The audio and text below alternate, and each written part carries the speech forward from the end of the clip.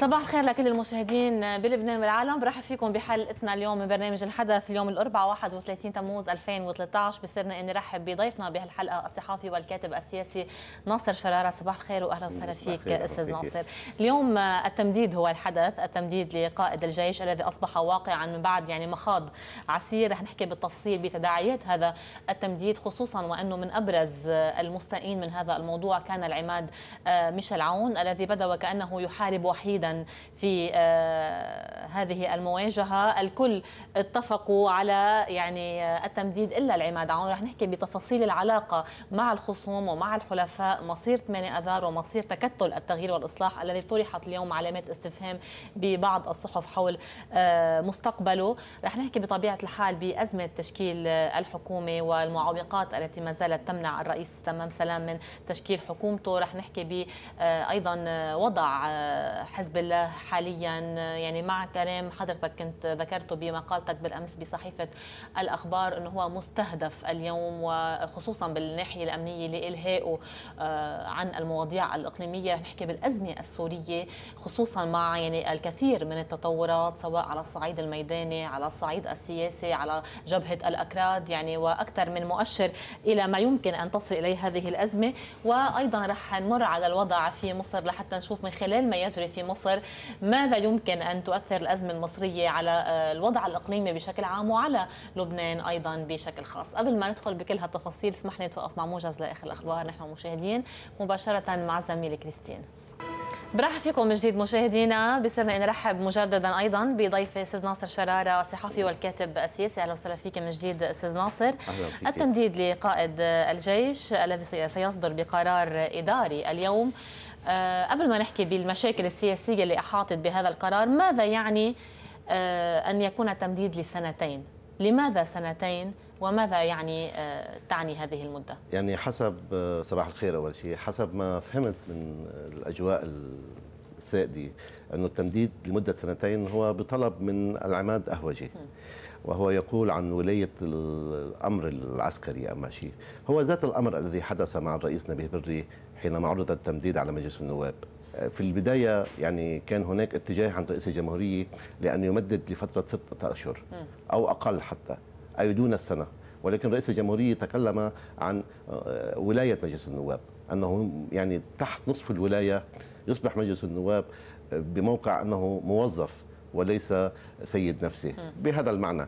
فإذا هناك يعني لكل مؤسسة تقاليد آه، لها علاقة بدستورية في مجلس النواب وأمرة عسكرية في آه، قيادة الجيش فيتم مراعاتها من هذه المؤسسات عينها. المهم أن التمديد يحصل آه، طبعا بسبب أساسي ووحيد وهو أن القوى السياسية في لبنان عاجزة عن توافق فيما بينها من أجل إنتاج تداول السلطة.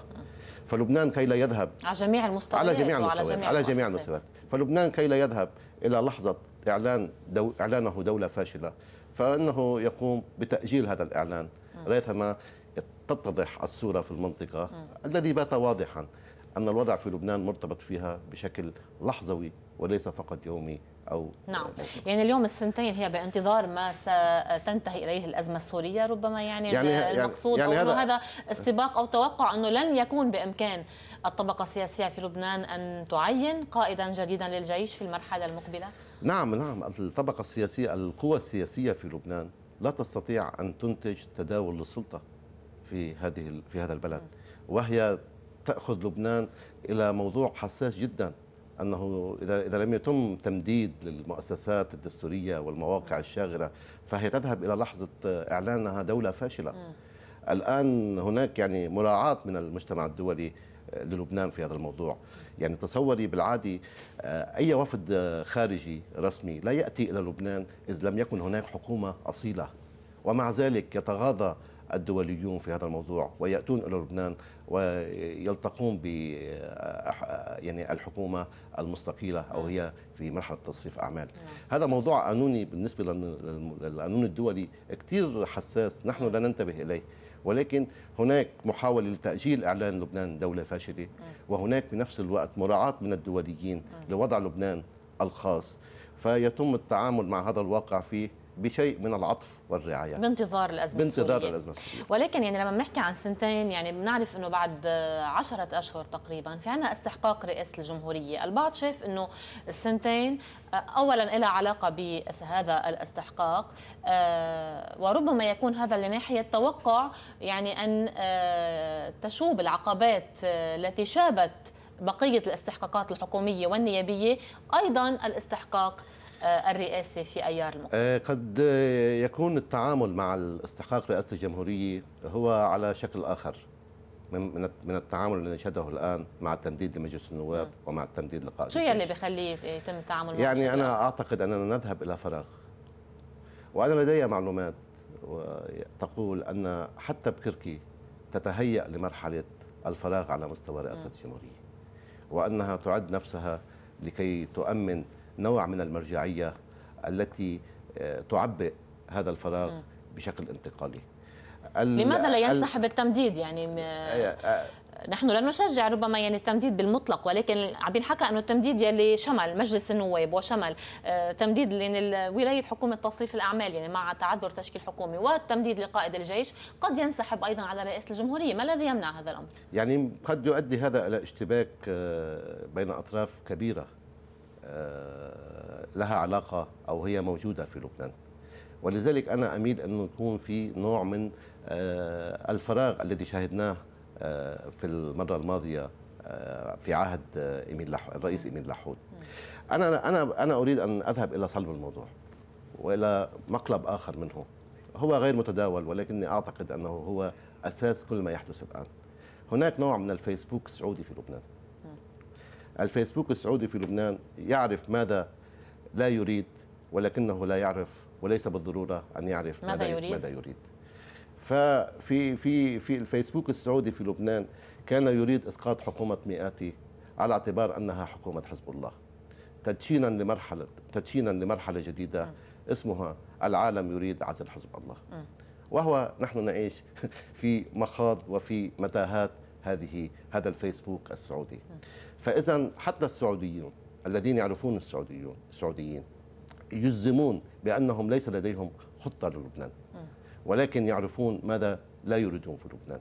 لا يريدون أن يكون حزب الله جزء من أي عملية سياسية لإنتاج السلطة من جديد في لبنان. نعم راح أحكي بالتفصيل معك بالموضوع أستاذ ناصر خصوصا وانك طرحت عدة عناوين يعني بالكلام يلي تفضلت فيه هلأ ولكن معي مباشرة عبر الهاتف أنا زياد أسود عضو تكتل التغيير والإصلاح للوقوف على رأي التكتل. طبعا بعد ما سمعنا بالأمس كلام العماد عون تعليقا على تمديد لقائد الجيش. صباح الخير أستاذ زياد. صباح النور يا هلا. أهلا وسهلا فيك. هلا لك ولضيفك الكريم يا هلا. أهلا وسهلا فيك. بداية لماذا برأيكم ترك العماد عون وحيدا في معركة رفض التمديد لقائد الجيش؟ يعني اولا صرت سماعة كثير هذه كلمة ترك وحيدا أنا بعتقد هي العكس تماما انه نحن عندنا موقف. نحن موقفنا مبدئي ومبني على آه، نصوص قانونية ودستورية. من ترك وحيدا هو من يمارس السلطة منذ سنة التسعين بذات النهج بذات الأساليب وبذات النتائج أيضا لأنه ما بدنا ننسى النتائج.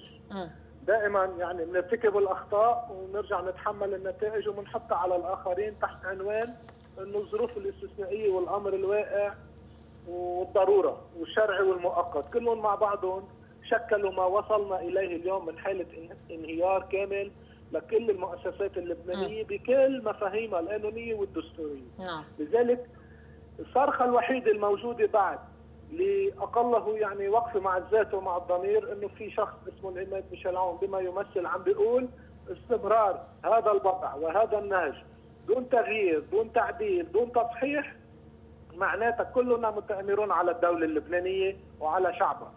ما بيصير شيء بالصدفة هيك يعني إنه بنعمل تمديدات ما بنعمل تعيينات بنترك الوضع بس ما نكون شايفين إنه هذا الكلام ربما من حيث المبدأ قد يكون صحيحا أستاذ زياد ولكن الواقع فعلا هناك وضع استثنائي وليست هذه ذريعة أو حجة واهية. يعني هذا الوضع الاستثنائي فرض التمديد لمجلس النواب وأنتم ممن مدد لكم في هذا المجلس. فرض أيضا يعني عدم تشكيل حكومه حتى الساعة. آه، هناك خوف من فراغ فعلي على مستوى قيادة الجيش ونحن في وضع أمني استثنائي محليا واقليميا. اولا الوضع الأمني والاستثنائي ما حد ما, ما بيخلق بالصدفة نحن بنخلقه. الفراغ السلطة واللي متوليين السلطة هن بيخلقوا إذا ما قاموا بواجبهم وما مارسوا السلطة كما يجب أن يمارسوها وأخذوا القرارات اللازمة بالوقت المناسب لذلك وقت اللي بنقول فراغ وقت اللي بنقول استثناء معناتها هناك حكما تقصير من المسؤولين في الدولة عن القيام بواجبهم في الوقت المحدد وفي الظرف المحدد. ما بتخلق هيدي بالصدفة. هناك تقصير وهناك ترك للمسائل كما هي وهناك ضغوط خارجية. نحن عم نجي نقول آه، لما نوصل لحالة استثنائية. طيب بكرة هلأ بلشوا يحكوا بتمديد لرئيس الجمهورية سنتين، أنا بدي أسأل سؤال. لشو مددنا لمجلس النواب؟ تيكون سيد نفسه لحتى نرجع نمدد لرئيس الجمهورية بالوقت اللي مجلس النواب في يعمل واجباته، هيدي فرضية ممكن تحصل ممكن لا. نعم. ولكن بتوصلك لذات النتيجة، هناك خلل على مستوى ممارسة السلطة، هناك خروج فاضح عن القوانين والمرعيه طيب كيف ستترجمون هذا الموقف عمليا؟ شو الخطوة المقبلة العملية؟ من بعد ما اعلنتوا بالأمس يعني عن إعلان آه، جبهة وطنية للدفاع عن الدستور، كيف ستترجمون هذا الأمر؟ هناك عدة عدة توجهات لترجمة هذا الموقف. ولكن بالأصل أنا ما بقدر أفهم كيف ممكن تتمارس السلطة من سنة التسعين لليوم نوصل لهي النتائج بدون محاسبة مع الذات أقله كل واحد من من زاويته كيف بنمدد أيام السلطة أيام الوجود السوري؟ مبددنا نترك تعيينات نترك وضع امني نضرب المجلس الدستوري ونمنعه ونقوم بواجبه. بيجي مجلس النواب بيمدد لحاله خلافا للقانون وبتمشي. ننتخب رئيس جمهورية خلافا للقانون بهذا المجلس وبتمشي وبنرجع بنقول مجلس سيد نفسه. سيد نفسه ما بيقبل هاي المخالفات. لذلك وقت اللي بنوصل لواقع إنه صرنا مضطرين نمدد لقاء دجاج بمادة قانونية لا تنطبق على الواقع القانوني وعلى الواقع السياسي الذي نعيش نعيشه معناتها هناك خلل.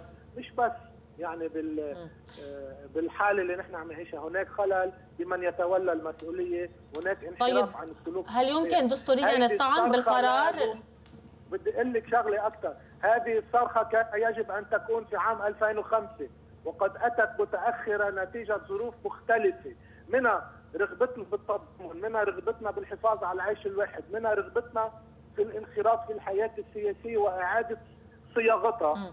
للأسف اصطدمنا بشبكة عمرها 25 سنة يعني تسمح لنفسها بكل هذه الارتكابات تحت عناوين الظرف والاستثناء والأمر الواقع. يعني هذا الكلام موجه للحلفاء قبل الخصوم أو للإثنين على حد سواء.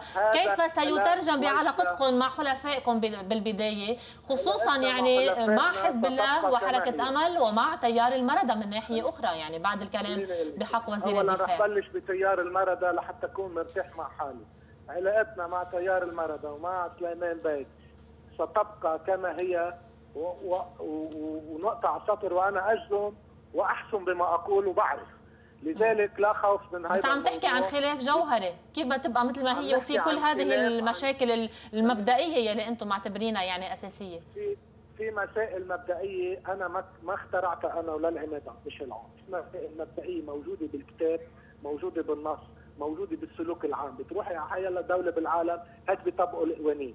نحن مشكلتنا إنه نراعي الظروف الاستثنائية على حساب بناء الدولة وقوة الدولة وهيبة الدولة، لذلك بدنا نختار. بدنا ظروف استثنائية ومشاعات ولا بدنا دولة وقوانين؟ طيب بس يعني يعني إذا إذا هالقد المشاكل كبرى ما رح تأثر على العلاقه على أي أساس بتستمر العلاقة اذا كما هي؟ في كما خطوط تقول. عريضة لها علاقة بالوضع اللبناني ككل بالمصلحة الوطنية بالسيادة بالمقاومة. بكل هول آه، ما في خلاف. الخلاف على شو الخلاف على بناء الدولة؟ على بوصلة على بوصلة بناء. نحن لسنا في دولة حتى اليوم وما شاهدناه من 25 سنة لا يؤسس لبناء دولة. وما يحصل اليوم يهدم الدولة لا ولا يساعد على بنائها. لذلك بدنا نحسم. كلنا كلبنانيين من كل الطوائف والمذاهب.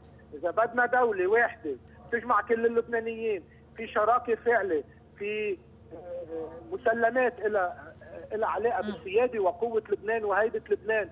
وفوقها وعلى رأسها الدستور وتطبيقه بشكل صحيح القوانين واحترامها من كل الناس من فوق لتحت وإلا في كارثة كبرى على الشعب اللبناني وقد تذهب إلى أبعد من هيك. هذه الكارثة إذا لم يعني نستدرك هذه المخاطر. يعني العلاقة لن تتغير لا مع تيار المرضى ولا مع الحلفاء في في فريق 8 اذار طيب متى بموضوع المقاومه بموضوع المقاومه وبموضوع تيار المرضى وسليمان بيك أنا أقول احسم وأجزم. يعني هون يعني على حساب بناء الدولة. لا مش على حساب بناء الدولة. ما عم تقول انك شايف عندهم مشروع لبناء الدولة. أنا لا لا هلأ ما شفت في مشروع لبناء الدولة، كل هذه المخالفات التي ترتكب تمديد للمجلس، تعطيل المجلس الدستوري، واحد طيب خيي أنا عندي حق بالمراجعة، بتعطل لي إياها؟ إلى طيب. أين أذهب؟ أستاذ زياد ختاما متى ستتقدمون بالطعن؟ ما بعرف هلأ هذا موضوع سابق لأوانه، ما بعتقد أنا اليوم هذا جاري البحث فيه على ضوء كيفية اتخاذ القرار، لأنه بكل الأحوال مهما كان هذا القرار لا تنطبق عليه شروط المادة 55 لأنه شروط المادة 55 تقول بأمرين أو بثلاث أمور. بس الأساس منها أن يكون هناك إعلان حالة طوارئ وأن تسلم آه، كل القيادة الأمنية إلى الجيش اللبناني. لذلك فيما لو فرض أنه هناك فراغ على هذا المستوى يمدد مش يمدد له يكلف أو آه، يؤخر تسريحه. بينما ما يحصل اليوم هو تمديد نعم. وهو حتى مخالف بالشكل لنص المادة 55 شكرا لك نائب زياد أسود عضو تكتل التغيير والإصلاح. أهلا وسهلا فيك. أستاذ ناصر شو تعليقك يعني؟ كان بدي أحكي معك قبل ما نحكي بالدوري السعودي. لأن بعد شوي كمان عنا فقرة الصحف حتى ما أرجع اقاطعك عن جديد. نعم. خلينا نحكي شوي بس بالموقف من العماد عون يعني. نعم. ومثل ما قلت إنه ترك وحيدا واليوم في علامة استفهام حول مصير التكتل وليش هيك عملوا فيه؟ يعني أكثر من مرة عم بيخيبوا له أمله وما عم بيوقفوا حده بمواقف يراها فعلا مبدئية خصوصا وأنها لناحية الدفاع عن الدستور وعن المؤسسات وعن عملية تداول السلطة. يعني اولا ما حدا آه، بيقدر يقول إنه هو مع التمديد ومع تعليق العمل بالاستحقاقات الدستورية. وطبيعي صرخة العماد عون هي صرخة آه، محترمة اقله على المستوى الدستوري وعلى مستوى التعبير عن الرغبة ببناء الدولة ما حدا عم يسمعها. ولكن ما حدا عم يسمعها يعني قصة ثانية يعني أنت بتعرفي إنه قبل ما يتاخذ قرار التمديد لجنرال الاهوجي للعماد قهوجي عفوا. كان صار لقاء بين السيد حسن نصر الله وبين الجنرال ميشيل عون. وبهذا اللقاء تم وضع الأوراق كلها على طاولة البحث. ومن ضمنها كان التمديد لقائد الجيش. فأنا بحسب معلوماتي إنه السيد حسن نصر الله يعني قال له نحن لا نمدد لقائد الجيش لاننا نريد التمديد لقائد الجيش. ولكن لا يوجد هناك يعني بديل عن هذه الخطوات وإذا كان لديك طيب. وإذا كان لديك بديل فحاول ونحن إذا نجحت سوف نكون معك وماذا وما هو مطلوب مننا سوف نفعله ولكن لدي شرط واحد أو تمني واحد وهو أن لا نصل إلى لحظة فراغ على مستوى المؤسسة آه، مؤسسة قيادة الجيش والجنرال عون كان موافق أنه لا يجوز أن نصل إلى لحظة فراغ في هذه المؤسسة الحساسة طيب كيف كان موافق بالاجتماع و... لا أنا أقول ما عندي معلومات نعم. قد أكون مخطئ ولكن نعم. يعني أزعم أنني أقاطع معلوماتي يعني مم. فقال له ال... فوعد العماد عون بأنه أيضا هو لا يريد أن يصل إلى لحظة فراغ على مستوى مؤسسه المؤسسة العسكرية. ولكن الاتفاق كان أنه يجرب. وإذا استط... وإذا نجح فان وإذا يعني حصل وصل إلى حصيلة معينة فإن حزب الله سوف يكون إلى جانبه. وإلا فإنهما سوية سيذهبان لعدم حصول فراغ آه، في المؤسسة العسكرية. الجنرال عون أكد أنه هو يضمن بأنه لا يوصل هذه المؤسسة العزيزة على قلبه نحن نعرف إلى لحظة الفراغ. كيف تفهم اذا الهجوم الذي يعني قامه بالأمس على قرار التمديد ووصفه بالانقلاب وما إلى ذلك؟ هاجم يعني هاجم هاجم قرار التمديد ولم يهاجم حلفاء. يعني نحن نستفش حتى نكون أنا وياك طيب، صريحين. نحن هل كان لهذا القرار أن يمر لولا آه، إجماع الحلفاء والخصوم عليه؟ كل القضية في هذا الموضوع من زاوية حزب الله تحدثت لك عنها. هكذا حصل وهذا هي النتيجة. ولكن آه، القضية التمديد وهجوم آه، عون على التمديد هو أمر آخر. له علاقة بشعار يرفعه بأنه ضد التمديد منذ مجلس النواب وصولا قد إلى رئيس الجمهورية. إذا طرح هذا الموضوع في وقت لاحق. ولكن القضية ليست هو ما يخشاه أكثر يعني التمديد لرئاسة ليس ليس ليس لب القضية هو موقف حزب الله من موضوع التمديد. حزب الله طرف حاول أن يصل إلى قواعد مشتركة مع جنرال عون أه؟ ولكن لم تسائب الظروف أن يعني تكلل هذه شو لب القضية؟ رئاسة الجمهورية؟ لا لا لم أقول أنا أقول إنه لب أنا عم بسأل آه شو, آه شو لب القضية؟ لا لب القضية هو أن لبنان أن القوى السياسية في لبنان جميعها لا تستطيع أن تنتج تداول للسلطة. هذا اللي حكيتني فيه بالبداية. هذا هذا نفس الأزمة. هو عجز إيه، غارق فيه معظم القوى السياسية أو كلها آه، لأسباب مختلفة. ولكن السبب الأساسي السبب الأساسي يكمن في الهجمة السياسية على حزب الله في لبنان. هذا السبب الأساسي. نعم. هو الذي عطل كل شيء. نعم وبالنسبة للعلاقة بين الحزب الله بين حتى هذا سؤال يعني مطروح جدا ويتم أحيانا طرحه بشكل موارب واحيانا طرحه بصراحة.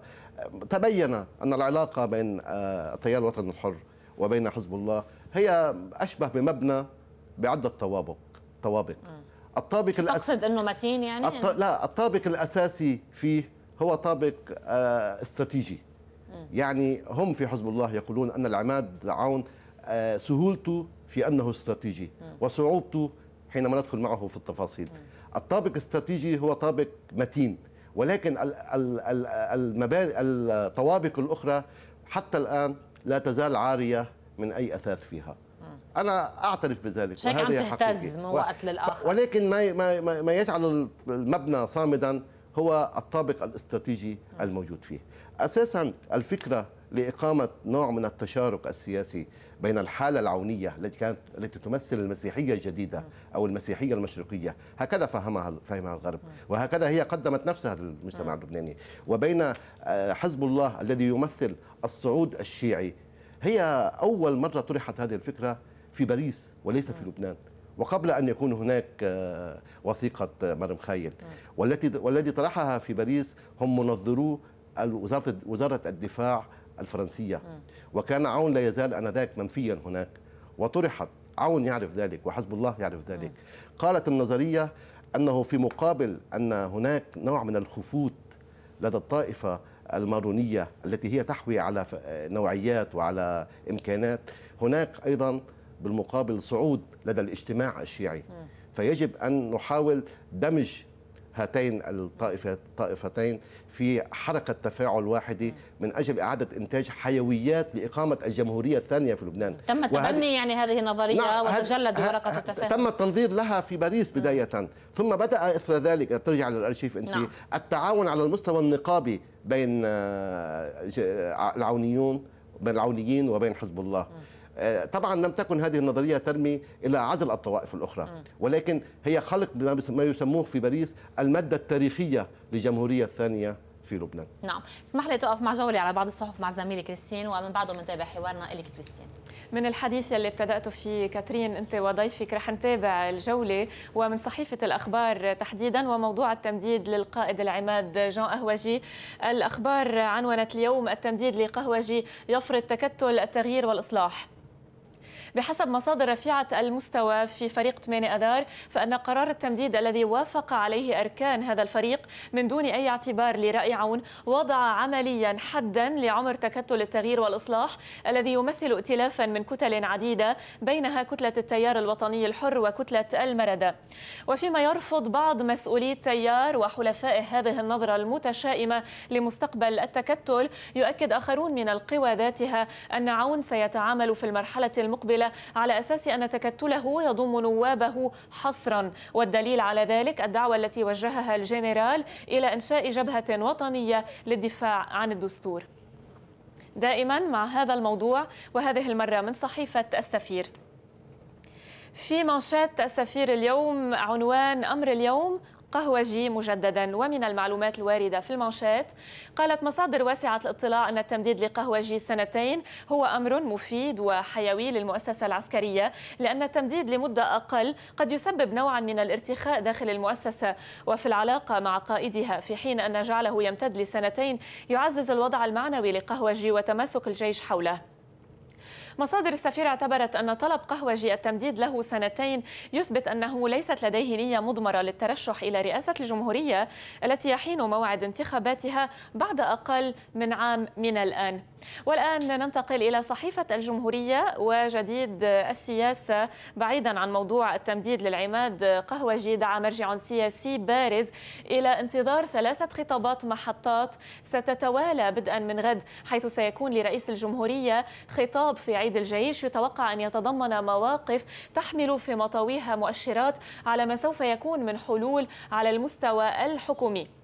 وأيضا سيكون هناك خطاب للرئيس سعد الحريري بعد غد الجمعة. خطاب متلفز خلال إفطار هو الأول من نوعه يقيمه تيار المستقبل خلال هذا الشهر المبارك في عدد من المناطق ويحدد فيها الحريري مواقف من مجمل القضايا المطروحة وإبرزها الوضع الحكومي. وسيسبق خطاب الحريري خطاب آخر للسيد حسن نصر الله يسبقه بساعات قليلة وهو يأتي خلال يوم القدس العالمي وسيعلن نصر الله جملة مواقف تتناول القضايا الداخلية والإقليمية والدولية. وأكد المرجع للجمهورية أن المواقف التي ستتضمنها الخطابات الثلاثة ستؤشر إلى الخيارات التي يمكن اللجوء إليها لحسم ملف تأليف الحكومة ومصير الحوار. ومن لبنان إلى سوريا هذه المرة ومن صحيفة الحياة معلومات خاصة أفادت مصادر عسكرية أمريكية بأن إدارة الرئيس باراك أوباما وافقت على خطة مبنية على الاقتراحات التي قدمها أخيرا رئيس الأركان الأمريكي الجنرال مارتن ديمبسي من أجل التعامل مع الوضع السوري. وتعتمد هذه الخطة على تنفيذ خيارين من الخيارات الخمسة التي اقترحها ديمبسي وهما تزويد الثوار بالعتاد والسلاح وتدريبهم خارج سوريا في مرحلة أولى ومن ثم إنشاء منطقة آمنة على الحدود السورية إما في الشمال أو الجنوب أو كلاهما. تعتقد مصادر الحياة بأن الاتجاه هو لإعطاء أولوية لجبهة الجنوب والتركيز على أعداد كتائب من الثوار تكون مدربة تحت إشراف أمريكي ومجهزة بعتاد توفره الإدارة الأمريكية وحلفاؤها من أجل السيطرة على المنطقة الممتدة على طول الحدود مع الأردن بعمق يصل حتى 40 كيلومترا لتكون منطقة آمنة يتجمع بها الثوار والمدنيون. ما يخفف جزءا كبيرا من العبء الذي بات اللاجئون السوريون يشكل يحملونه على المملكة الأردنية. ننتقل الآن إلى صحيفة الوطن السعودية ومن الوطن أخبار من مصر عن اللقاء الذي جمع كاثرين أشتون بمحمد مرسي في زنزانته. تضمنت الصيغة التي طرحتها كاثرين أشتن على محمد مرسي خلال اللقاء الإفراج عن معتقلي الإخوان المسلمين وبقية فصائل التيار الإسلامي مقابل فض اعتصام مؤيديه في ميدان رابعة. أشتن نقلت إلى مرسي تعهد السلطات المصرية باستمرار ممارسة حزب الحرية والعدالة التابع للإخوان نشاطه السياسي بشكل قانوني والسماح له بخوض الانتخابات المقبلة مقابل تعهد أنصار مرسي بوقف كافة أنشطتهم الاحتجاجية إلا أن مرسي لم يبدي ترحيبا بعرض أرض أشتن وأكد تمسكه بشرعيته كرئيس للبلاد. والآن ننتقل إلى معاريف الإسرائيلية وبعض الأخبار عن المفاوضات المستجدة بين الطرفين الإسرائيلي والفلسطيني. معاريف تنشر وثيقة توضيح قرار إسرائيل العودة إلى طاولة المفاوضات. تركز الوثيقة على شرح مغازي الإفراج عن الأسرى الفلسطينيين والعودة إلى المفاوضات انطلاقا من مثلث مصالح إسرائيلية هي محاولة استنفاد فرص التوصل إلى تسوية سلمية منع وعرقلة تطور ميول سلبية في الحلبة الدولية ضد إسرائيل وأن نكون مستعدين لمواجهة التحديات والفرص من حولنا. تشدد الوثيقة على أن العودة إلى المفاوضات تمت استنادا لطلب نتنياهو وليس استجابة لشروط مسبقة. من دون إعلان إسرائيلي بأن المرجعية هي خطوط العام 67 ومن دون تجميد الاستيطان في يهودا والسامرة الضفة الغربية والسامرة الضفة الغربية. ومن دون الإفراج عن معتقلين قبل بدء المفاوضات. وتضيف بأن نتنياهو أكد تمسكه بحل الدولتين على أساس دولة فلسطينية منزوعة السلاح تعترف بالدولة اليهودية. إلى الديلي تيليغراف البريطانية وهذا الخبر. كشف مسؤولو الهجرة في بريطانيا النقاب عن أن ما يصل إلى نحو 100 من مجرمي الحرب المطلوبين في شتى أنحاء العالم يلجؤون إلى بريطانيا سنويا. ووفقا لملفات إدارة الهجرة أكثر من 800 مشتبه بهم في ارتكاب جرائم وحشية في بلادهم عثرت عليهم السلطات منذ عام 2005 وهم يحاولون التخفي داخل البلاد أو يسعون للحصول على مأوى وإقامة. على الرغم من رفض معظم طلبات هؤلاء للجوء أو الإقامة لا يزال عدد كبير منهم يعيش في بريطانيا بسبب قوانين حقوق الإنسان التي تمنع ترحيلهم إلى بلادهم خوفا من تعرضهم لمعاملة سيئة. ونختم الجولة مع صحيفة الديلي ميرور أيضا البريطانية وبعض النصائح أو الوصايا العشر لتحسين المزاج. أولا الذهاب إلى المسرح أو السينما وليس التسوق. اثنين تحديد يوم للخروج مع الأصدقاء. شرب الشاي بنكهة الموز القراءة وعدم مشاهدة التلفزيون لفترة طويلة. شراء الزهور التطوع والعمل الخيري تناول الشوكولا الاستماع إلى الموسيقى التي تحب اكتشاف المزيد عن شجرة العائلة وأخيرا الابتسامة. بهذا نختم الجولة ونعود إلى كاترين وضيفها. شكرا لك بعد في بعد في 11 التمديد. هذا بيحسن المزاج هذا عم بيعكر المزاج هون بلبنان. رح أحكي هلا معك أستاذ ناصر نعم. عن الدور السعودي يلي كنت نعم. تفضلت وأشرت له خصوصا وأنك قلت إنه السعودية اليوم تعرف ما لا تريده. في لبنان ولكنها لا تعرف ماذا تريد وما لا تريده هو أنها لا تريد حزب الله أو تريد بالتالي تمام. عزل الحزب. كيف يترجم هذا الدور السعودي في لبنان وكيف سينعكس أو تكون تداعياته على ما نعيشه من استحقاقات وأزمات؟ يعني آه، بدأ الدور بدأ هذا الدور بالهجوم السياسي على حزب الله في لبنان وبالتالي على لبنان. ما فيك يعني تعملي فصل بين الأمرين. بدأ بشباط الماضي. والمسؤول عن تسريب يعني التعليمي الدولي عن هذا الهجوم هو شخص اسمه ريتشارد أوتاوي. ريتشارد أوتاوي هو هو رئيس لجنة العلاقات الخارجية في البرلمان البريطاني وهو رجل موصوف بأن له علاقات مع الناتو ومطل على أجندة عمل آه، الأجهزة الأمنية الأمريكية. شو كانت كلمه السر؟ إنه كلمة يجب السر؟ البدء بعزل الحزب؟ لا كلمة السر يجب تغيير مفهوم النائب النفس. يجب تغيير مفهوم النائب النفس شرحها أوتاوي بأن المطلوب ليس أن الخطر على لبنان لا يأتي من النازحين أو من تداعيات الأزمة السورية على لبنان بل يأتي من آه، إرهاصات اشتراك حزب الله في سوريا بالقتال ودور حزب الله في لبنان ودور حزب الله حول العالم. المحادثة دبلوماسية مع أوتاوي يسأله محادثه اللبناني وكيف أتيتم بهذه المعلومات أن لحزب الله كل هذه الأخطار؟ فيقول أن هذه معلومات السي إي وقد تم تحصيلها من أصدقائنا في لبنان.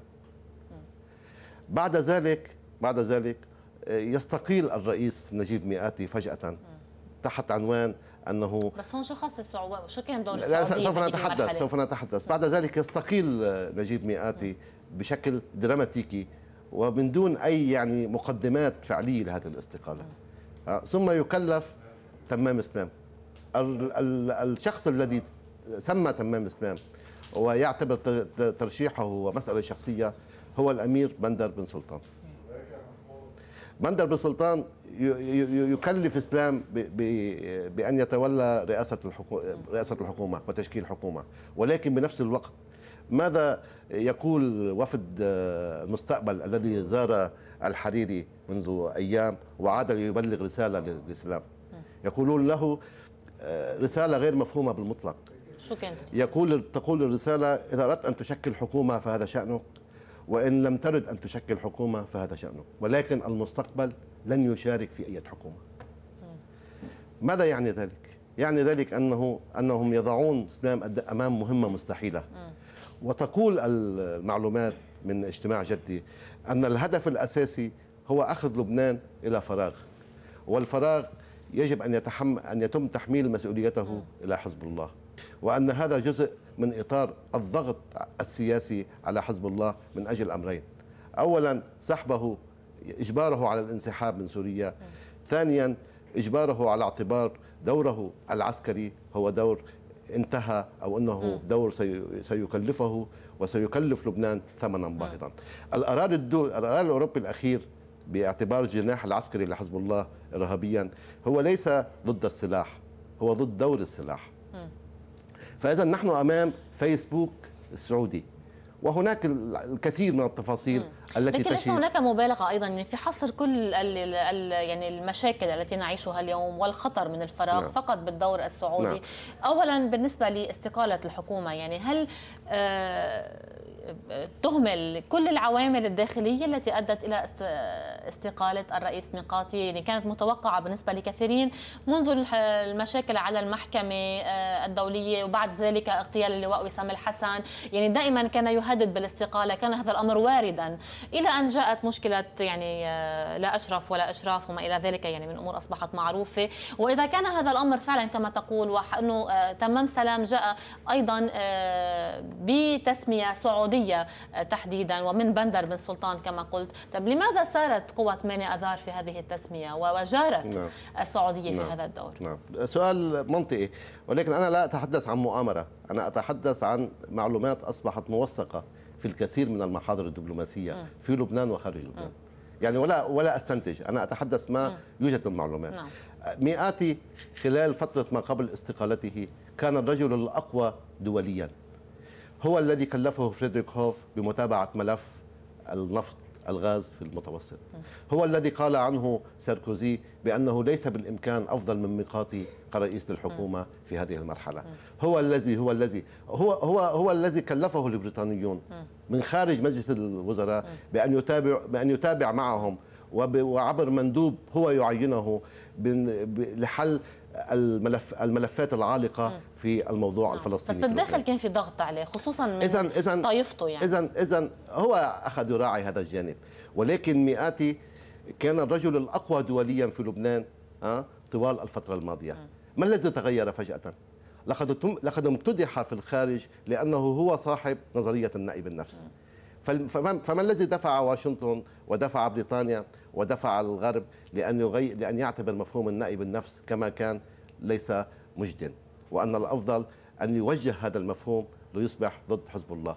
وأنا لا أتكلم هنا استنتاج أنا أقول لك معلومات.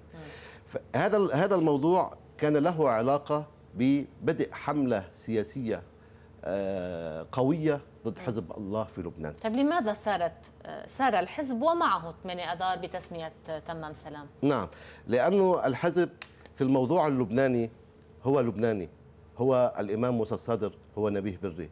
ولكن في الموضوع الإقليمي الحزب لديه إنجازات منذ التحرير حتى الآن يدافع عنها بشراسة. حينما حينما يطرح عليه موضوع داخلي هو مستعد لأن يدور لأن يدور الزوايا. حزب الله أعطى الثلث الضارب ل 14 آذار في قبوله بأن يكون آه تمام إسلام هو رئيس الحكومة ما هو تمام إسلام؟ تمام إسلام ثلاث مواصفات. هو أحد حلفاء جهة منخرطة في الحرب بسوريا. هو 14 آذار. أه؟ وهو مسمى من السعودية ومن 14 اذار البعض شاف أنه التف على هذا الموضوع لا لا لأنه لا. كان أصلا يحظى بأكثرية تمام سلام. فيعني السؤال السؤال لماذا لماذا أعطى حزب الله اي عم لك شو عم بيقولوا الخصوم؟ لا أعطى يعني سمى تمام سلام لأنه أصلا يعني كان تمام سلام سيفوز. وسيحظى بأكثرية بالاستشارات النيابيه لما يعني, يعني اعتراض. دعموا نائب جنبلاط فلم يعد بإمكان 8 آذار بحسب ما بيقولوا الخصوم يعني إلا أنه يسيروا في هذا الدعم وبالتالي آه، يعرقلون فيما بعد عملية تشكيل يعني أنا متأكد أنا متأكد لو أن حزب الله لم لم يسمي تمام اسلام لكان هناك يعني مشكلة في موضوع تسميته. وجنبلاط أنت تعرفين أنه آه، في هذه المرحلة يحاول أن يواكب حزب الله في آه، قرارات يعني لها علاقة بتركيب بإعادة بإنتاج كان أعلن إنه راح يسمي المهم المهم المهم تسمية حزب الله لتمام الإسلام أعطته أكثرية كاسحة. م. وحزب الله في هذا الموضوع حينما يسمي هو يعرف أنه يعطي 14 آذار الثلث الضارب لأنه يعطي رئيس يعطيهم رئيس حكومة هو من في صفهم ويعبر عن أجندتهم الداخلية وأيضا الإقليمية. وكان حزب الله على ما أظن يتوقع أن يبادله 14 اذار الثلث الضارب بثلث ضامن. كي يكون هناك توازن داخل الحكومة.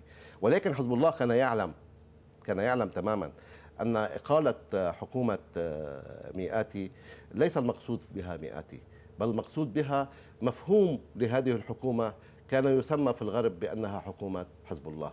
وكان يعرف بأن ما يحدث هو بدء مسار من الحرب السياسية عليه. ولذلك عندما قال عندما سأله الرئيس نجيب مئاتي عبر وفيق صفا فيما أظن أنه أنني, أنني ماذا سأفعل؟ قالوا له افعل خياراتك.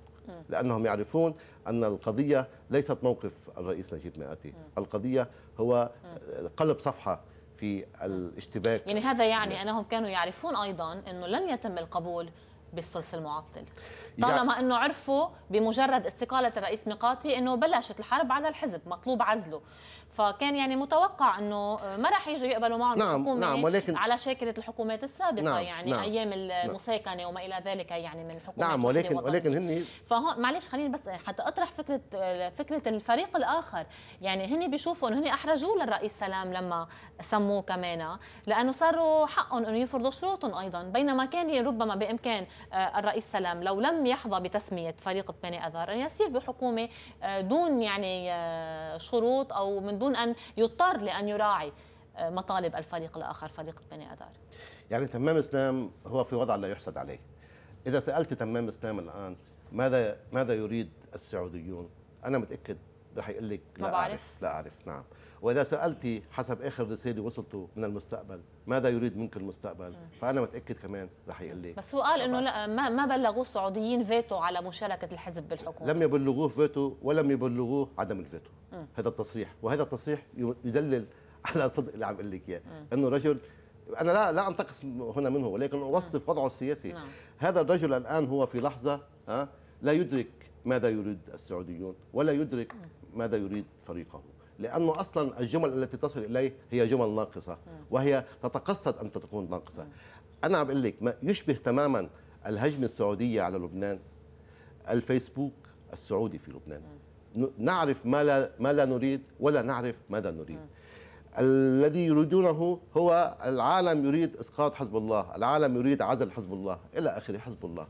فهذا الجو هذا الجو. ما في حكومة طبعا بهذا الجو. لأنه القرار بتشكيل الحكومة هو قرار آه، خارج لبنان وتحديدا بإيد السعوديين. والسعوديون في هذه اللحظة هم في مرحلة هجوم مضاد في كل المنطقة. في مصر كان لهم دور بإسقاط مرسي.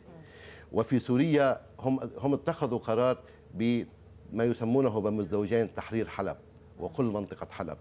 وفي لبنان هم يقومون بحرب يعني يتخللها مشاهد أمنية أحيانا ضد حزب الله. وفي اليمن أيضا منخرطين في الصراع. أينما تريدين. هم في مرحلة هجوم مضاد لتحسين آه، في لبنان منخرطون بال... بال... فقط بعزله سياسيا؟ أنا بعتقد إنه القرار الأمريكي كما عبر عنه لاري سيلفرمان هو تحديدا الانقضاض السياسي على حزب الله. آه؟ هذا هيك. ولكن تحت هذا القرار يوجد هناك أجندات تحاول أن تستغل هذا القرار وتقوم من وتقوم يعني بتنفيذ عمليات أمنية لا تؤدي إلى ضرب كل المنظومة الأمنية أو منظومة الاستقرار على شاكلة الاستهدافات على شاكلة متفجره متفجرة بئر العبد. متفجرة بئر العبد في مضمونها وشكلها وكل تفاصيلها آه، هي رسالة صوتية يعني آه، تؤشر إلى امكانيه أن أن يجري عمل عجل عمل أمني تحت سقف آه، الانقضاض السياسي المطلوب امريكيا. نعم، طيب يعني إلى أين سيصل هذا الدور يعني اللي عم تحكي عنه؟ آه، وأيضا كيف سيتعاطى الحزب مع هذا الموضوع؟ وهل هو آه، بريء بشكل كامل من أي مسؤولية يعني عما ألت إليه الأوضاع؟ خصوصا وأنه البعض بيشوف إنه مشاركته في الحرب في سوريا اججت الفتنة السنية الشيعية وهذا الاحتقان المذهبي ما ربما يدعم مشاريع مثل اللي تفضلت وحكيت عنها وخطط من هذا النوع. الصراع الهجمة الهجمة المضادة السعودية ما لها علاقة بأنه مباشرة بأنه حزب الله تدخل في القصير. ربما وأضافت هذا العامل إلى حساباتها. ولكن الهجمة السعودية لها علاقة بحرب يعني طويلة عريضة في المنطقة. العراق هو واحد من ساحاتها اليمن هو واحد من ساحاتها يعني إحنا قبل شهرين ثلاثة حينما كنا نتحدث مع السعوديين مع السعوديين عن اهتمامهم في لبنان كانوا يقولون لنا إنه لبنان هو في وضع متأخر من اهتماماتهم لأنهم محاطون ببؤر متوترة نعم. وخاصة في اليمن وخاصة في البحرين والعراق وإلى آخره. ولكن الآن السعودي يخوض معركة المشرق أيضا. يخوض معركة المشرق بالارتباط بقضايا هامة تحصل وهي أصلا المفاوضات الجارية الآن التي ستجري في واشنطن بين الفلسطينيين والإسرائيليين. هذه المفاوضات يعول يعول الأمريكي على فيها كثيرا على الدور السعودي. آه، كيف رح يكون جون بايدن يعني؟ جون بايدن بآخر لقاء له مع وزراء الخارجية العرب اللي شرح لهم فيها عن رؤية أوباما وصف آه، المبادرة السعودية للسلام بالوثيقة الضخمة بمبادئ تفكير أوباما يقول أنه لابد من دور للجامعة العربية في هذه العملية وما تبقى من الجامعة العربية الآن هو السعودي. بعد أن مصر ذهبت في متاهة جديدة وبعد انكفاء وبعد انكفاء القطري لماذا لماذا حصل الانكفاء القطري برأيك؟ الانكفاء القطري هو هو يعني مؤشراته الداخلية موجودة من أربع سنوات. هناك صراع بين جناحين في قطر. بين جناح آه، تميم الأمير تميم آه، آه، موزة الأميرة موزة وهم ال مسند ال مسند هم الذين يمسكون بأجهزة الأمن في قطر. وهؤلاء يعني لديهم صراع مرير مع وزير الخارجية ورئيس الحكومة السابق حمد بن حمد بن جاسم. منذ أربع سنوات ويعملون على إقصائه. ولكن حجم حمد بن جاسم الداخلي الكبير وحجمه الدولي كان بحاجة لعملية مبتكرة لازاحته عن السلطة. فمن هنا يعني ارتأى الوالد أن يخرج أن يخرج معه سويا إلى خارج اللعبة من أجل أن يسهل على ابنه أن يحكم. ولو أنه تم إقصاء حمد بن جاسم من دون أن يخرج معه الأمير الأب إلى خارج اللعبة لكان حمد بن جاسم قادر على أن يعني يثير المشاكل نعم. في وجه اللعبة الداخلية. هذا يعني اليوم السعودية هي اللاعب الوحيد في الملفات الإقليمية؟ من مصر إلى سوريا إلى اليمن السعوديون وصولا السعود إلى لبنان؟ السعوديون أصبحوا استردوا الآن يعني قيادة اللعبة باسم كل الخليج وباسم العرب المنشغلين في قضاياهم الداخلية. نعم رح أحكي عن سوريا بعد الفاصل بس قبل الفاصل سؤال سريع عن الحكومة. اذا سنبقى لا من دون لا حكومة. من دون حكومة, حكومة. وسنصل حتى كما قلت في بداية هذه الحلقة إلى فراغ على مستوى رئاسة الجمهورية. بانتظار ماذا؟ ماذا لو استمرت الأزمة السورية لسنوات طويلة كما يتوقع لها؟ هل ماذا يحل يعني بلبنان على نحن نحن على المستوى اللبناني لا يوجد أفق سياسي. بالمطلق. ناطرين يعني. نحن في ثلاجة يعني نخشى أن تصبح مثل أهل الكهف يعني أن يستديم تستديم والوضع الأمني. الوضع الأمني هو الذي يحظى باهتمام أوروبي وأمريكي. والتمديد لقائد الجيش هو أحد التعبيرات عن هذا الاهتمام. بس هل مضمون أن يبقى ممسوكا هذا الوضع؟ نعم خصوصا يعني إذا ما استمر الفراغ لفترة أطول. يعني المؤمل أن يبقى ممسوكا المطلوب دوليا أن يبقى ممسوكا. الاتحاد الأوروبي جان فيمون الرجل الثاني في الاتحاد الأوروبي يقول أيضا في محادثة دبلوماسية من ثلاثة أسابيع أن الاتحاد الأوروبي كان مستنفرا خلال الأشهر الماضية من أجل تحصين الوضع الأمني اللبناني الذي بدأ أن هناك إشارات قوية أنه ذاهب نحو التفلت والانفجار. بس هون يعني هل قد إذا في قرار دولي بإمساك الوضع بلبنان وعدم انهياره هل هذا يكفي؟ يعني ما في عوامل اشتعال داخلية متوفرة وموجودة على هناك يوميا. هناك هناك ما الذي يضمن عدم الانفجار؟ يعني هل قد الضمانة الدولية طبعا طبعا مؤكدة طبعا. لا حرب لا حرب داخلية كبيرة بدون قرار دولي.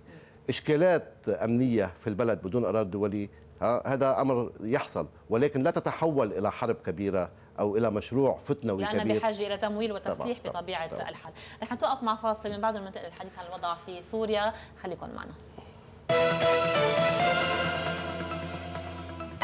برحب فيكم من جديد مشاهدينا وبتابع برنامج الحدث مع ضيفي الصحفي والكاتب السياسي ناصر شرارة أستاذ ناصر الوضع في سوريا يهمنا كثيرا خصوصا وانه ختمنا المحور الأول على أساس أنه لبنان سيبقى في الثلاجة بانتظار انتهاء الأزمة السورية نعم. هل ستنتهي هذه الأزمة أم أنه إلى مزيد من التعقيدات الميدانية والسياسية يعني ما في شك أنه الأزمة السورية بعد القصير دخلت مرحلة جديدة ميدانيا وسياسيا نعم. ودوليا واقليميا أيضا. يعني أصبحت المعادلة الدولية في سوريا أوضح لجهة يعني تحشداتها الصراعية وليست التسوويه. عمليا نحن نعيش مرحلة أن النظام يعني يستفيد من التداعيات معركة القصير ويحقق إنجازات يعني جديدة في منطقة حمص. نعم. في منطقة حمص آه، النظام يسير وفق أجندة هي حرة من الضغوط الدولية عليها. في منطقة ريف دمشق هناك محاولات لاستعادة خطة روبرت فورد أي التقدم من جوبر باتجاه العباسيين وتحقيق إنجاز كبير معنوي للمعارضة في منطقة دمشق من أجل إبرازه على مستوى الضغط فيه على جنيف 2 الذي أصبح مؤجلا. بس ما زال هذا الأمر ممكن ميدانيا؟ في يعني منذ ثلاثة, ثلاثة أيام حصلت محاولة تسلل من جوبر قابون باتجاه ساحة العباسيين، م. ساحة العباسيين تبعد عن جوبر مسافة 500 متر فقط. ولكن القوات الجيش السوري قامت بمحاصرتها مؤخرا وهي تقوم بمعالجتها ووصلت إلى مشارفها وإلا أن الأمر لم يحسم بعد نعم. وأجندة التدخل التسلل من جوبر إلى ساحة العباسيين هي أجندة معنوية ويراد منها آه، أن يتم توظيفها في خدمة أن التوازن العسكري يتم تصحيحه وتوظيفه في التوازن السياسي نعم. ولكن المكان الذي تحتدم فيه صراع الإيرادات الدولية والإقليمية هو حلب. أنا كنت قلت بالماضي يمكن عندك أنه حلب تشبه في داخل الحرب السورية آه، سوق الغرب داخل الحرب اللبنانية.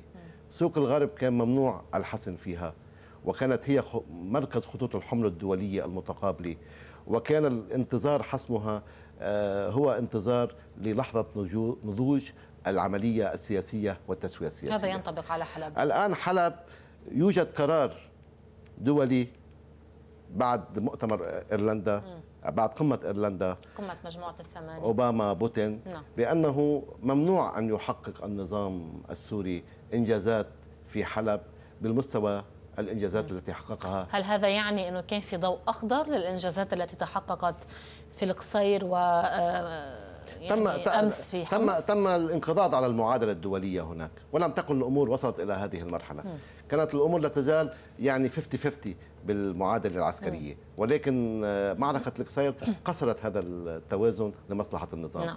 بعد كسر هذا التوازن نشأ معادلة جديدة دوليا. م. هي معادلة استلحاقية. وتقوم أيضا السعودية بدور أساسي في قيادتها. وهو أنه ممنوع أن يحدث في حلب ومنطقتها ما حدث. طيب كيف سيتحقق هذا المنع عمليا؟ يعني يتحقق هذا فعلا المنع. يعني خطط لتسليح المعارضة كيف؟ يتحقق هذا المنع من بأن النظام السوري يدرك أيضا وهو لا يلعب في الهواء النظام السوري. هو يلعب ضمن آه، يعني مفردات سياسية موجودة ويقرأها.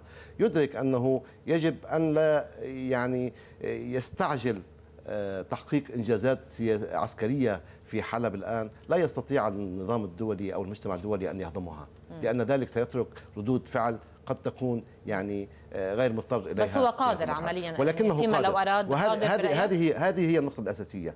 أنا مسؤول سوري يقول لي انه أنهم يقولون إذا لم نسقط يعني حلب فإن هذا سيقوي موقعهم في المفاوضات. ولكن حينما تعقد طاوله المفاوضات ويقول لي وتقول لنا المعارضة أننا نسيطر على حلب يمكننا أن نقول لهم طيب الآن الجيش السوري يذهب ويأخذ حلب منكم.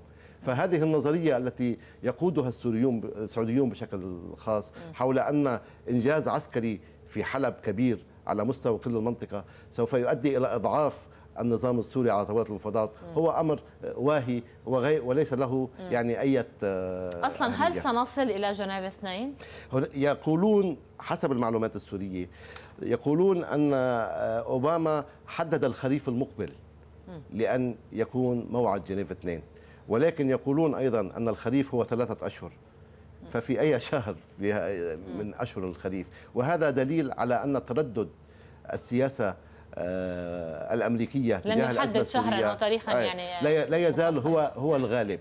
بكل الأحوال هناك محاولة الآن لأن آه، هناك محاولة سعودية جديا وهناك قرار سعودي اتخذ بشكل جدي للسيطرة على كل ريف حلب وكل شمال آه، سوريا. حتى أنهم يريدون بمناسبة السيطرة إعلان السيطرة عليها تغيير النشيد الوطني السوري. من حماة الديار إلى شهداء الديار. حتى أنهم وضعوا نعم. النشيد الوطني يعني رمزية هذا الموضوع. ولكن آه تمت أوراق جديدة دخلت على لعبة الشمال في سوريا وهو الورقة الكردية الورقة الكردية الورقة الكردية بمواجهة آه كيف يمكن أن تؤثر يعني هذه الورقة؟ وهذا المعارك اللي عم تحصل بين الأكراد وبين الجهاديين وأطراف المعارضة. السورية المسلحة.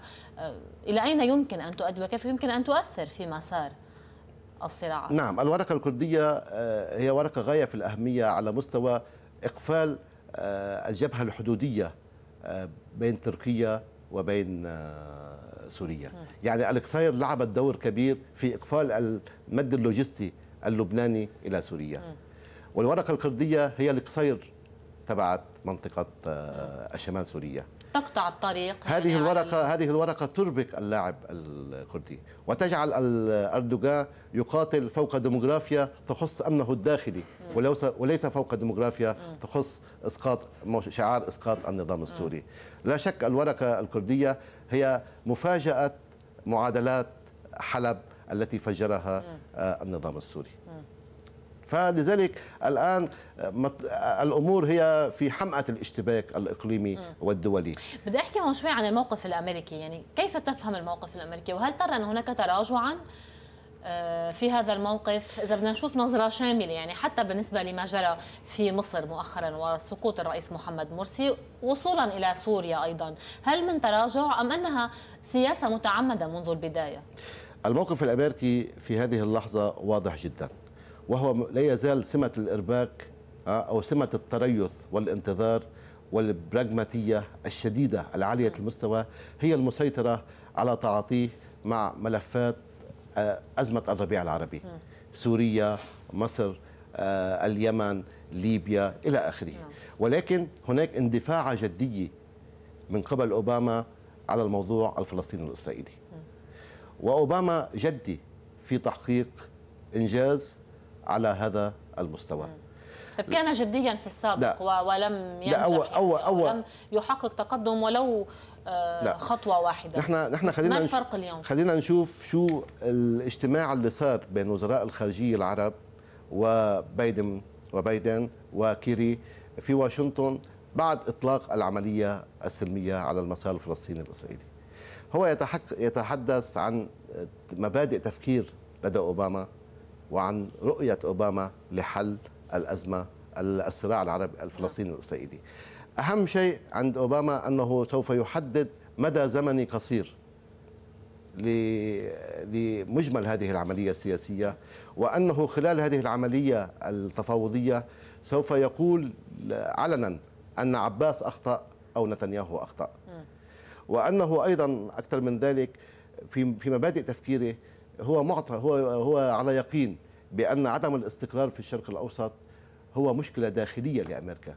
هذا هذه نظريه بس هل سيساعده الإسرائيليون في هذه المهمة؟ وهم الإس... الذين أفشلوا مهمته يعني مع موضوع المستوطنات والاستيطان المتزايد بالمرحلة طبعا هذا السابقة. يعني لماذا يتعاونون اليوم مع أوباما لأنه لأنه لأنه النظرية عند أوباما الآن أنه لا يشتري السلام مع الفلسطينيين ولكنه يشتري الوئام مع أمريكا في هذه اللحظة التي يوجد فيها أجندات كبيرة أو ملفات كبيرة ليس هناك تفاهم كلي بينه وبين أمريكا بشأنها وهي ملف إيران وملف حزب الله آه، وملف كيف نتعاطى مع الدول التي يوجد فيها ثورات عربية الآن. فهو بهذه اللحظة بحاجة لأن يكون هناك نوع من الوئام مع الإدارة الأمريكية لأن الشراكة الاستراتيجية مع أمريكا في هذه اللحظة هي مطلب إسرائيلي بامتياز. بأكثر مما هو بس لأي حدود قادر يعطي؟ هنا سوف نترك العمل لعبة الإيرادات والمفاوضات يعني أصل الدولة منزوعة السلاح نعم مقابل أنا دولة أنا أنا نفس الأسطوانة عم أنا أقول أنا أقول أن أوباما ذاهب إلى محاولة حسم للصراع الفلسطيني الإسرائيلي. ولكن أنا أعلم أيضا أن أوباما ذاهب أيضا لتكريس ما هو منتقص من حقوق الفلسطينيين م. وإلى آخره، ولكن نحن نتحدث عن أمريكا، عن أمريكا كيف تفكر بالمنطقة في هذه اللحظة. م. أمريكا في هذه المنطقة تفكر باللحظة بالمنطقة على أساس أن المجال الواضح أمامها هو تحقيق اختراق كبير على المستوى فلسطين, فلسطين الإسرائيلي, الإسرائيلي. وبنفس الوقت وهذا يؤثر بطبيعة الحال فيما بعد على مصير الأزمات يعني من مصر ما في شك سوريا ما في شك الموقف السعودي يستثمر في أماكن أخرى على الرغبة الأمريكية بتحقيق اختراق م. على هذا الملف نعم. يعني هناك ثلاث مسارات الآن سنشهدها على هذا الملف وأنا أعتقد أن هذا الملف هو الأهم الآن م. الملفات الأخرى سوف توضع في الثلاجة وسوف تعيش حالة انتظار بنسبة معينة يعني قد يكون لبنان أكثر من سوريا وسوريا أكثر من مصر إلى آخره نعم. ولكن كلنا سوف ننتظر التسعة أشهر القادمة التي التي هي الموعد لأول مرة الذي حدده أوباما لإنهاء مجمل هذه عملية نعم. التفاوض هذه السعودي يستثمر في هذا التوجه لأنه أوباما بحاجة إلى غطاء الجامعة العربية هو يقول في مبادئه وهي قد تكون أعلنت أو لم تعلن ولكنها موجودة. نعم. يقول أنه بحاجة أنه لا تسوية في الشرق الأوسط من دون مشاركة أمريكية ومن دون دور للجامعة العربية في هذه التسوية. فالسعودي يستثمر في هذا الموضوع ويريد أن يأخذ بالمقابل يعني مكاسب في سوريا وهو أخذ مكاسب في مصر. نعم. على فكرة بعض الحيويات التي أدت إلى إسقاط مرسي طبعا الشارع يريد إسقاط مرسي بأغلبيته ولكن بعض الحيويات قد مولت منذ خمسة أشهر سعودية. من قبل السعودية شايف كيف؟ هو أخذ في مصر ولذلك هو يعتبر حاله السعودي أنه في مرحلة هجوم مضاد نعم. لأنه يعتبر أن إنجازه في مصر هو نوع من المنصة للانطلاق منها لتحقيق آه، جهة أخرى. لبنان أيضا لبنان أيضا كلما اقترب الحوار الإسرائيلي الفلسطيني من موضوع حق العودة وموضوع مستقبل اللاجئين هو معني بشكل مباشر سوف يكون لبنان معني بترديد هذه نعم. المواضيع على على أمنه ربما أو على وضعه السياسي إلى آخره. الأردن أكثر وأكثر الآن يتم البحث عن إيجاد مناطق آمنة خارج الأردن لاحتواء النازح النازحين السوريين والفلسطينيين الموجودين في الأردن، لماذا الآن يتم ذلك؟ لأنه الآن لا يتسع الأردن لأن يحمل قضيتين آه، اجتماعيتين مع بعض. فلسطينية, فلسطينية وسورية لتخفيف العبء يعني يريدون عودته إلى دورة الوظيفي من 48 وهو الإسفنجة التي تمتص النتائج الاجتماعية للنكبة الفلسطينية نعم. فكل المنطقة الآن يتم هي بحالة بحالة من حالتين باختصار. أما أنها مدعوة لانتظار بنسب مختلفة لفترة التسعة أشهر هذه التي ستأتي أو أنها هي ستدفع أثمان آه، هذه الأشهر التسعة. لبنان في ملف حق العودة الأردن في محاكاة لموضوع الوطن البديل السعودية في تغطية القرار الأمريكي بإنتاج تسوية كثيفة سريعة يعني وجبة سريعة التسوية نعم. مثل همبرجر بتسعة أشهر بين الفلسطيني والإسرائيلي فإذا فإذا نحن باختصار لأنه خلص الوقت نعم. بس نعم. نعم هي كلمة أخيرة نعم. اختصار الم... بس شو كنت عم تقول لا نحن في حالة تسعة أشهر هودي فيهم تغيير لأجندة العمل نعم. وتغيير للبوصلة نحن رايحين لانتظار الآن آه، لما سيحدث على المسار الفلسطيني الأسرائيلي. نعم، بدي أشكر حضورك معنا اليوم أستاذ ناصر شرارة الصحفي والكاتب السياسي أهلا وسهلا فيك من جديد، أيضا بشكركم مشاهدينا على متابعتكم وإلى اللقاء. Thank you.